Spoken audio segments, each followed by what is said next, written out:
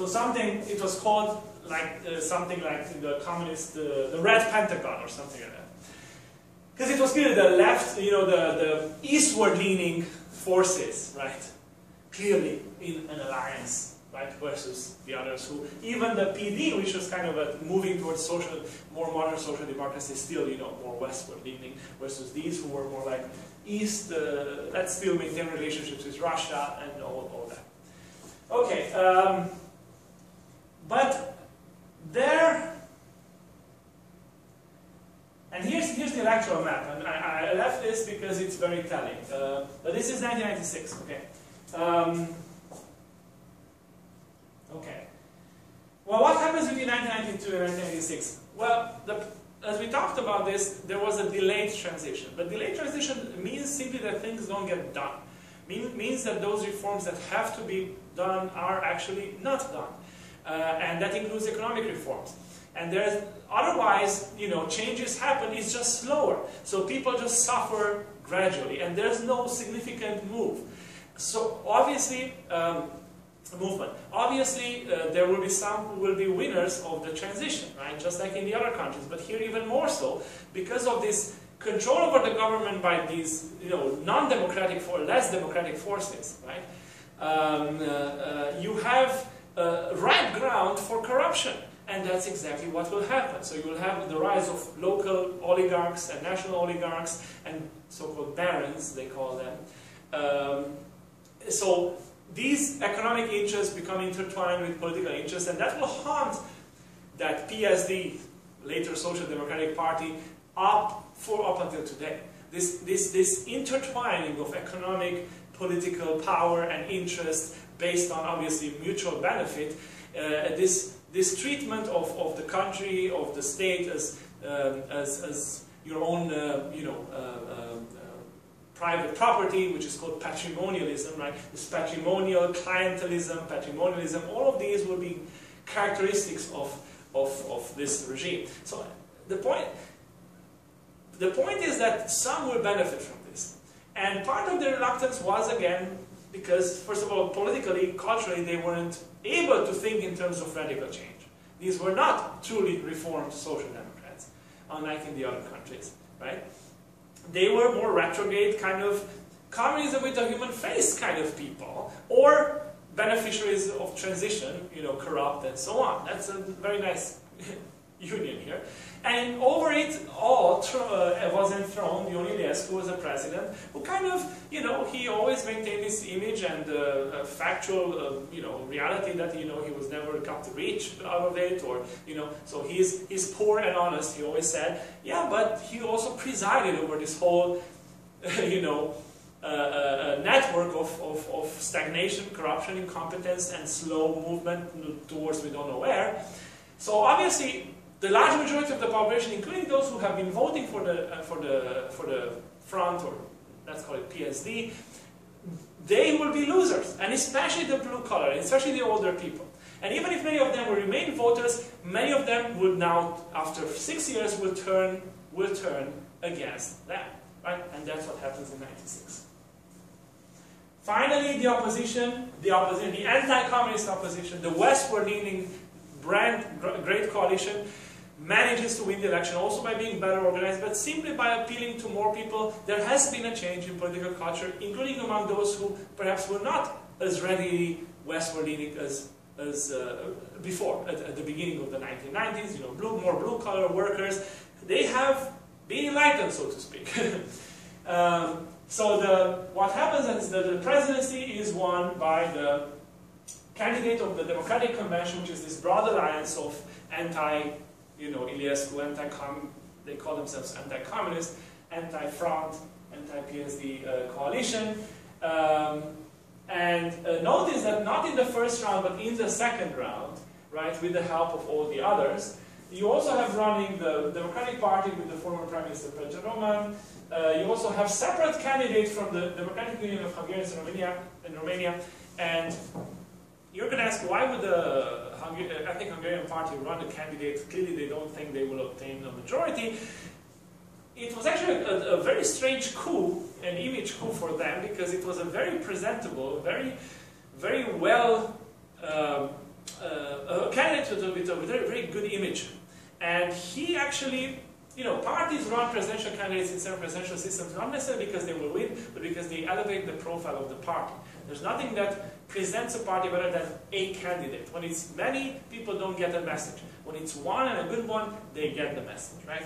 So that's what they did, and it was very, very successful. Okay, and you have Greater Romania Party, a radical extremist party, another extremist party running their own, and so on. In the, so here's the map, because this is so telling, what I was telling you about, right? So here is the first round of elections for the uh, president.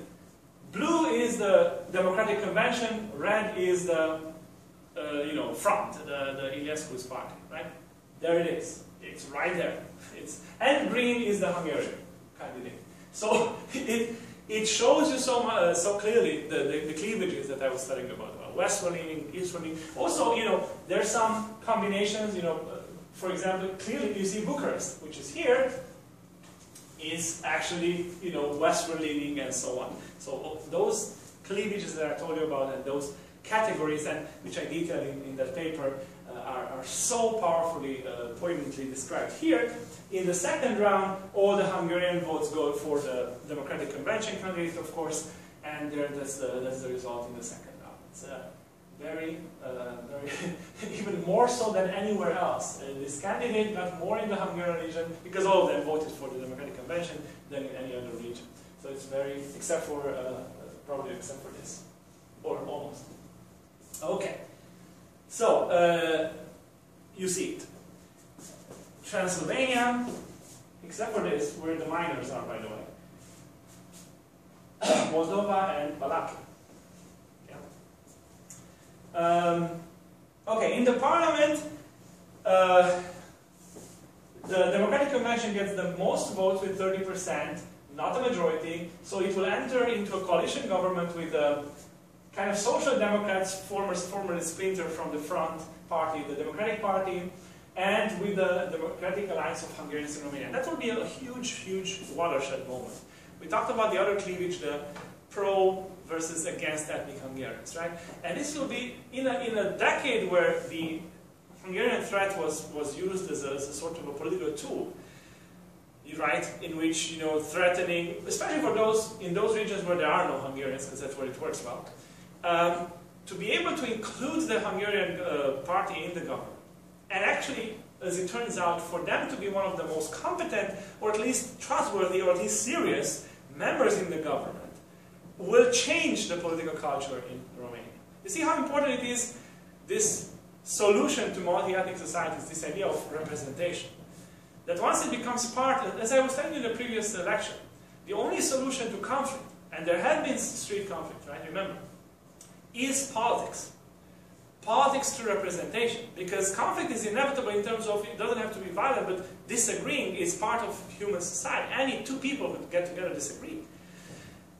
The point is, where do we solve this disagreement that is natural in any human society and transform, how do we transform it into common collective action? That is the conundrum of politics. That is what politics responds to, especially democratic politics. Here's here's here it is in action.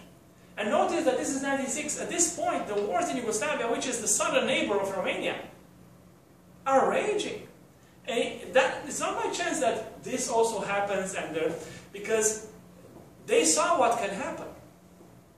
Or, you know, in, a, in, a, in an ethnic society that doesn't manage to, to solve its, um, multi-ethnic society doesn't manage to solve its real or imagined conflicts, because these conflicts aren't real, right, of course. They have been operationalized by interested elites or also tapping into nationalism of regular people. Okay, ethnic nationalism of regular people. It's, it's a vice, it's, it's a two-way street here? Notice that when the language of the elites change, changes, the very conflict disappears. So if it, if it would be a real conflict, then it wouldn't, well, if not disappear, but it wouldn't go away so easily. This, this, this, this is a very uh, interesting aspect of, of our study of Central Eastern Europe because you see multi-ethnic societies taking so many streets. In Yugoslavia, because of specific reasons, war, war and violent secession, In Czechoslovakia, peaceful secession, right, or peaceful at least, you know, change, uh, changing its statehood. Here you have a solution through representation, uh, because and, and, and that has that has worked. Once it was accepted as a regular, as a legitimate player, and because they have delivered, because they were a good political player who actually were competent, perhaps more competent than the others in the eyes of many in the population. Okay? Later their image also will change, but we'll talk about that. Okay, so Chamber of Deputies, is the same situation, because of course they elected at the same time with the same method. But, so you're going to say, well, victory. We have regime change, finally, in the, in the, in the true sense, meaning that election, communists were swiped, swept away, you have the opposition. Well, remember what happened to the opposition in every single other Central European country after the first election that they won so greatly. They fell apart. And that's exactly what will happen here, nothing else. First of all, they will, be, they will turn out to be fragmented fractures. They could not agree. Those delayed transitions were, were posing a big conundrum or, or, or, question mark of, of, of the need, referring to the need to endeavor some radical reforms now. now. But radical reforms hurt. And this fragmented coalition didn't have the unity of action, neither the, nor, nor the strong leader because the elected president, Emil Constantinescu, was a university professor, very nice and everything, and good intentioned, but not a strong president. And you need a strong unifying leader of some sort to push in a, in a certain direction, and the natural position for that is the president. Iliescu was that in his own direction, but he was a strong president. None of his prime ministers had anything to say when whoever wanted to comment something, remember he brought in the miners once. I mean, Constantinescu was so constitutionally minded, so democratic, that he couldn't use the tools of politics to push in the right direction. In fact, at the end of his mandate, shamefully, according to, for many, uh, Emil Constantinescu, this president who was elected on the hopes, really on the hopes of, of the entire country, on a, a euphoric election to oust the ex-communists, he will, four years later, he will appear on TV to say that I have been defeated. Now that is not something that any country wants to hear from its president who is supposed to lead. Uh, in the US, Jimmy Carter talked about, uh, I don't know, malaise and so on, and it has never left that, the stamp of talking about that has never left him up to this day. Now, so it, is not something you do. As a president, to say that you have been defeated by, says, the forces of you know, the former secret police who are now the economic uh, gray underground, whatever, it's not allowed to say such a thing. Okay, uh, well, so the, the government will be a failure. It will fragment, different parties will leave the government, uh, so it will be a complete and utter disaster. And remember, the more the hopes were, the higher the hopes, uh, the worse the fall. The worse the fall. And it will be disastrous fall. A disastrous fall. Just like in other countries where the first party that wins the election and will fail to deliver, that heightened expectation will disappear, so here, so here. So in 2000, you have, yes, you have guessed, the return of the now called Social Democrats with, with Ion Iliescu. With Ion Iliescu, because that he was the most prominent member of his party, he, they proposed him for president, well, he was the candidate. Um, so they return, um, and uh, the, some of the parties that had been part of the Democratic Coalition simply disappeared, never to be heard of, really almost like the Peasants' Party, which was one of the major parties in the 90s, that historical party will be crushed by, by their failure uh, to, to, to govern. Other parties will, will manage to survive and, and change, you know, perhaps because they left the government earlier or whatever. Um, so here it is. Uh, the president, Ion Iliescu, uh, but notice who gets the second vote. Not democratic opposition, because it was just crushed by its incompetent governance. Uh, one of the candidates, one of those parties gets 11%, whatever, and independents run, and so on. The second one is the leader of this extremist, xenophobic, anti, whatever you want, and also one of the former, he was one of the court poets of Ceausescu, literally. He wrote poetry to glorify the leader during communism.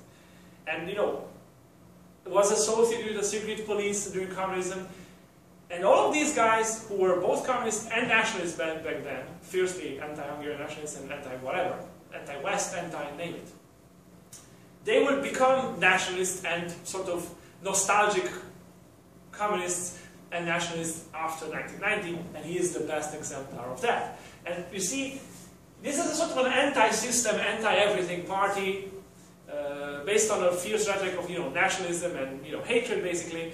And in the times of crisis, when the democratic opposition fails and we have to elect again the same old, these people, you know, after 10 years of failed transition in a way, these people get votes. And he will get 28%, only 8% less than Iliescu in the first round, but not in the second. Notice that in the second round you will actually uh, get, he will get 66%, he will crush uh, uh, his, his rival. Why? Because everybody went to vote, even those who hated Iliescu from hated his guts, they went to vote to oust, to, to make sure that this, this extremist doesn't get, get to power. You're going to say, well, this is weird and strange for Romania and whatever, but it's not, because it, it's at the same time, the same thing is taking place actually in France. There were an extremist, uh, Jean-Marie Le Pen, will get into the second round with the, with the, what was it, Jacques Chirac, yeah? And the same thing happens in France around the same time. So, actually, you know, or two years later, the same thing. So, you know, this is not a strange phenomenon. The rise of nationalistic or xenophobic or extremist parties in, in, in, in Europe that happened, has been happening since the, since the 80s, but it's predicated on a democratic fatigue uh, and, uh, you know, sort of a failure of, of, a tiredness with the existing status quo elites. But what happens after the 2000 elections is so, is so interesting. Let's look at the election for the parliament, right? Still under PR and whatever. Notice the, or, or Chamber of Deputies, doesn't matter. Um, you have the PSD getting 37% of the, of the votes, you know, 65 seats. but out of 140, that's not a majority. So they don't have a majority. Now, remember that previously, in the previous mandate, they have allied themselves with the Greater Romania Party, with extremists. They can't do that anymore because, first of all, they have become, now they have become a social democratic party. So the communists were first, or ex-communist second ranking, first became a sort of a reform communist, stagnating, eastward looking, whatever, in the 90s, plus allied with oligarchs and whatever. And so uh, later, it takes them 10 years to actually become reformed communist social democrats, uh, as their counterparts have done in all the Central European countries in 1989 and 1990. Social Democrats in Hungary, in Poland, in whatever, they did that in 1990. It took them 10 years. You see the delayed transition to become that. Just like it took them six years to actually do that watershed election, not in 1990 but 1996, it would take them 10 years to become the Reform Social Democrat. But still, allied with those oligarchs and corrupt and, you know, they have been installed in, the, in power.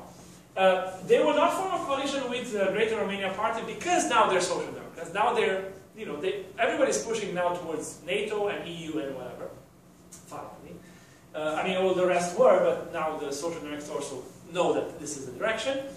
Um, but also because the leader of the Greater Romanian Party, this fiery personality, has been viciously attacking Ion Iliescu, the leader of the Social Democrats, during the presidential election, actually between the two rounds.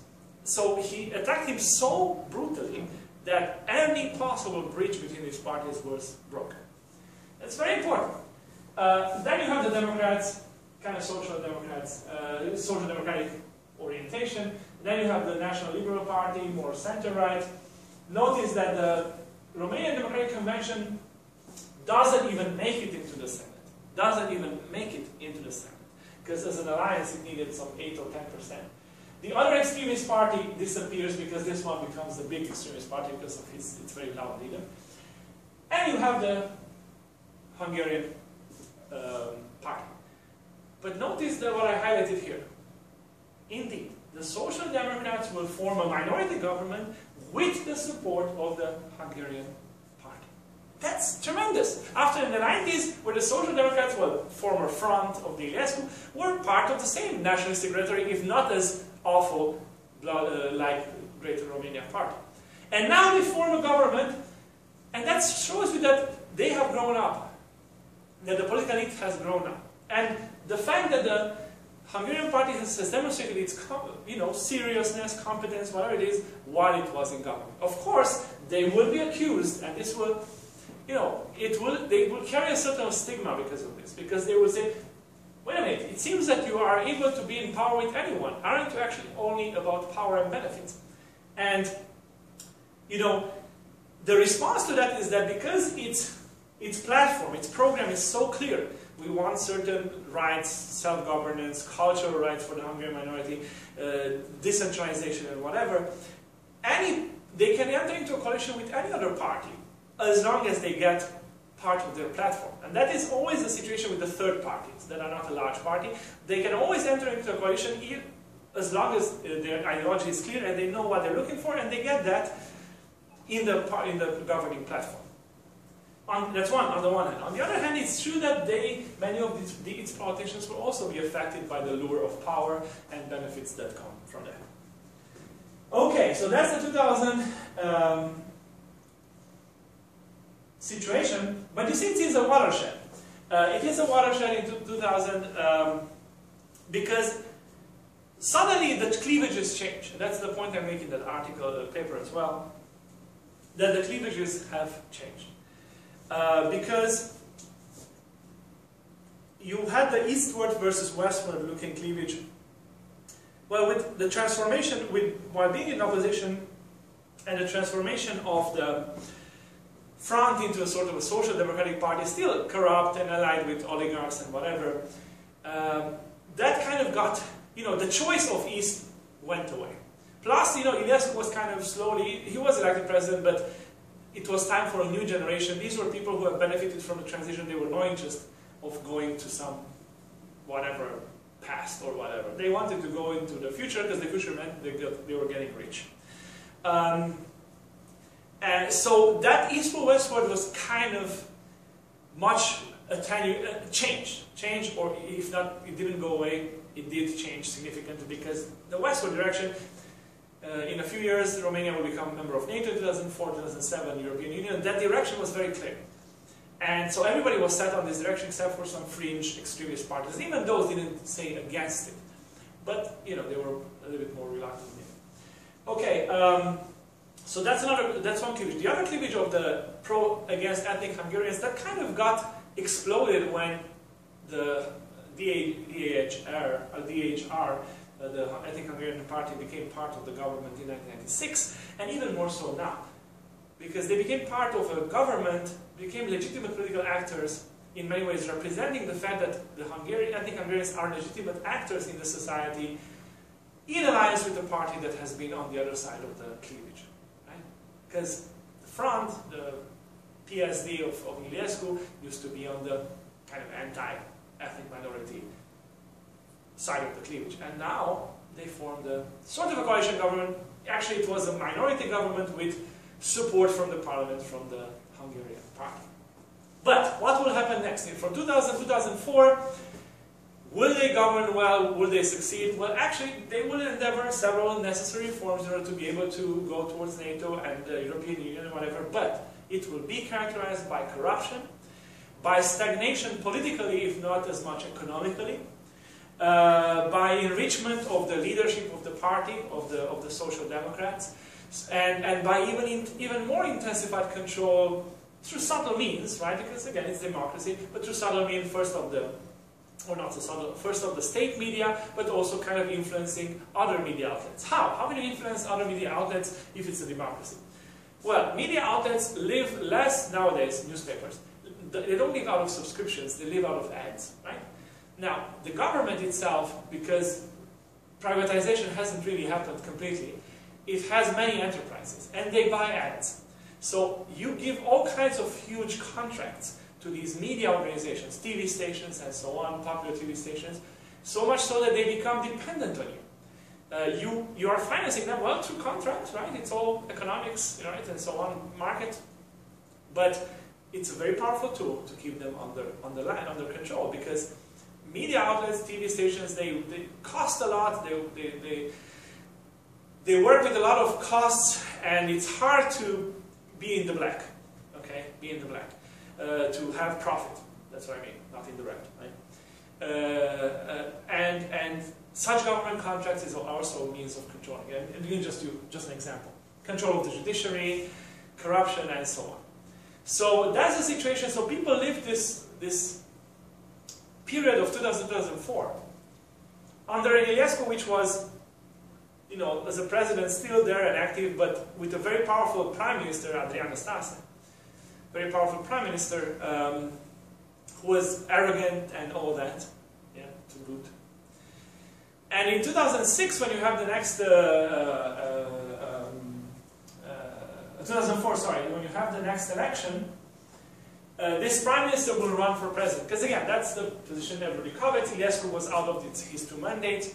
So Adrian Năstase is arrogant, uh, you know, enriched, uh, who have, has enriched himself, who, who, have governed over this, this sort of a very heavy government in the sense of, you know, corrupt and uh, kind of stagnating and kind of benefiting their circles and kind of using the tools of the state. So all of this, right? Um, he runs for president. And kind of everybody thinks, oh, kind of the sensation is that he will win. He will win. But he won't. And that is a, it's going to be a huge blow, and it's, a, it's going to be a very interesting election in which, again, this semi-presidential, the, the, the tricks and characteristics of the semi-presidential system will come into very powerful relief. Uh, you will see them you will see how important it is that it's the same presidential system when we discuss the results of the 2004 elections.